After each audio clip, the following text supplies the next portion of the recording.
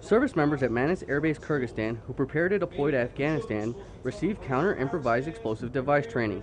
Lead instructor Andre Stover believes learning how an IED is constructed and how they are used in Afghanistan could help save their lives on the battlefield.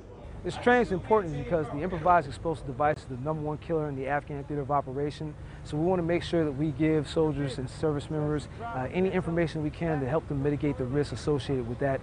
An Army veteran, Mr. Stover hopes his actions and words will help his brothers and sisters in arms on their deployment. I served 24 years in the military, I've seen a lot of things happen to service members, so anything that I can say or do that's going to help save someone's life makes it very gratifying for me. And PFC Ashanti Stewart feels Andre's teaching increased his vigilance.